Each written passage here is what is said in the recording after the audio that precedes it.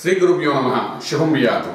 కన్యారాశి వారికి రెండు వేల పద్దెనిమిది మే మాసం ఏ విధంగా ఉంటుందంటే చాలా రిలీఫ్గా చక్కగా అనుకున్న పనులు జరుగుతున్నట్టుగా చాలా ఆనందకరంగా ఉండడానికి అవకాశం బాగా కనిపిస్తుంది.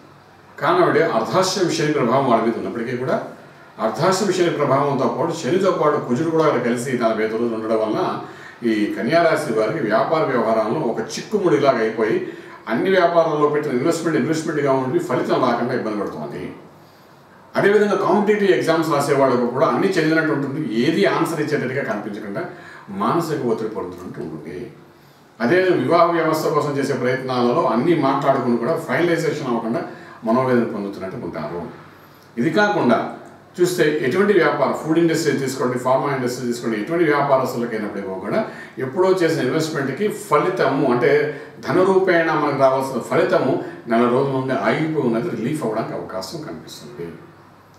విదేశీ ప్రయాణాల కోసం చేసి వీసాల కోసం చేసే ప్రయత్నాలలోని ఇన్నాళ్ళు పెండింగ్లో ఉన్న వ్యవహారం అంతా రిలీఫ్ అవ్వడానికి అవకాశం ఉంది.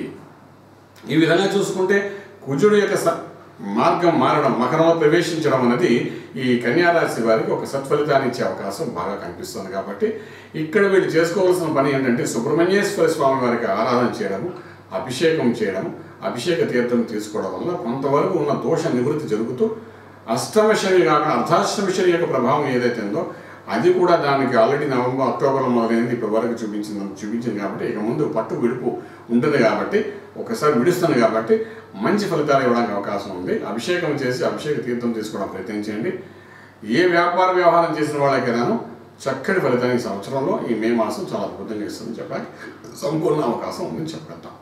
శుభం వ్యాధం